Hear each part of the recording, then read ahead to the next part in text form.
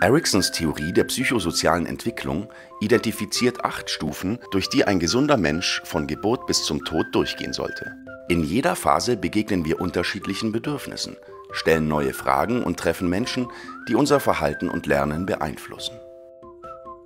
Stufe 1 Urvertrauen versus Urmisstrauen Als Kleinkinder fragen wir uns, ob wir der Welt vertrauen können, und wir fragen uns, ob sie sicher ist. Wir lernen, wenn wir jemandem jetzt vertrauen können, können wir auch anderen in der Zukunft vertrauen. Wenn wir Angst erleben, entwickeln wir Zweifel und Misstrauen. Der Schlüssel zu unserer Entwicklung ist unsere Mutter. Stufe 2 Autonomie versus Scham und Zweifel. In unserer frühen Kindheit entdecken wir uns und unseren Körper. Wir fragen, ist es okay, ich zu sein? Wenn wir uns selbst entdecken dürfen, entwickeln wir Selbstvertrauen. Wenn wir es nicht dürfen, können wir Scham und Selbstzweifel entwickeln. Beide Eltern spielen jetzt eine wichtige Rolle. Stufe 3. Initiative versus Schuldgefühl. In der Vorschule ergreifen wir die Initiative, probieren Neues aus und lernen grundlegende Prinzipien, zum Beispiel wie runde Dinge rollen. Wir fragen, ist es okay für mich zu tun, was ich tue?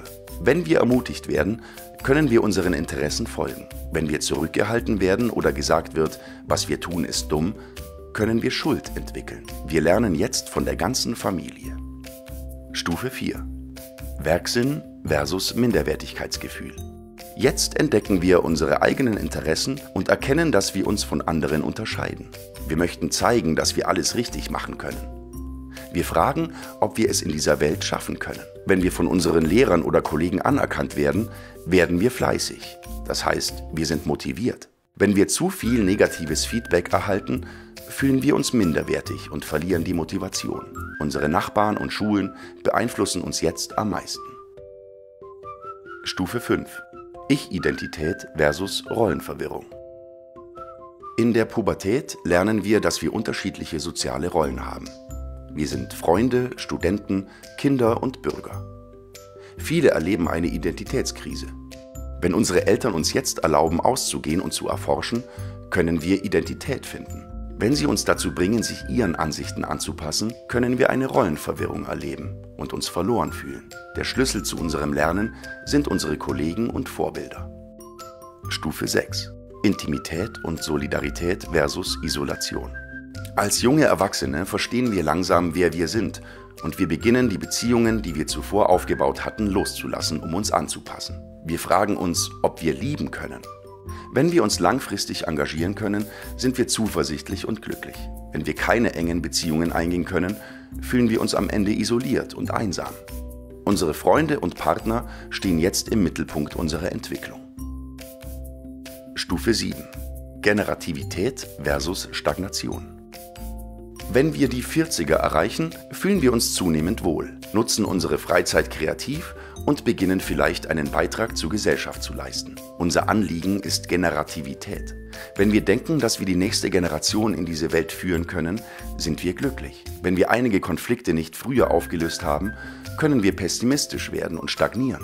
Menschen zu Hause und bei der Arbeit sind es, die uns am meisten beeinflussen. Stufe 8 ich-Integrität versus Verzweiflung.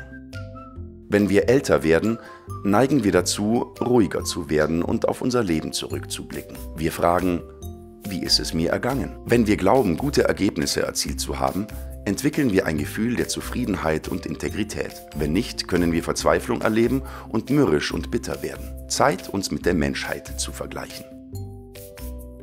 Erik Erikson war ein deutsch-amerikanischer Psychologe. Zusammen mit seiner Frau Joan wurde er für seine Arbeit zur psychosozialen Entwicklung bekannt. Er wurde von Sigmund und Anna Freud beeinflusst und wurde berühmt, weil er den Begriff Identitätskrise geprägt hatte. Obwohl Erikson nicht einmal einen Bachelorabschluss hatte, war er Professor an Harvard und Yale.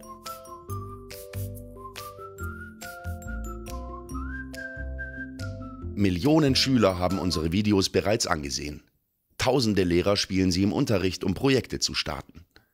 Freiwillige auf YouTube haben sie in über 25 Sprachen übersetzt.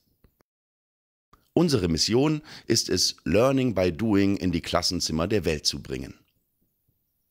Du bist ein leidenschaftlicher Lehrer und kannst gut erklären? Wenn du uns helfen willst, unsere gut recherchierten Inhalte zu erstellen, dann kontaktiere uns. Willst du uns mit einer Spende unterstützen, dann gehe auf patreon.com/sprouts. Jede kleine Spende von dir macht einen großen Unterschied für uns.